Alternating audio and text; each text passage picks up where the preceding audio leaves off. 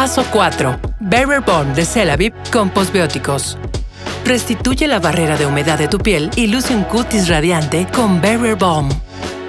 Aplícalo después de los sueros o humectantes para hidratar más tu rostro, cuello y otras zonas con resequedad. Esto aporta un acabado tipo bálsamo que actúa como segunda piel, ayudando a fijar la humedad y reponiendo la barrera de humedad mediante postbióticos hidratantes.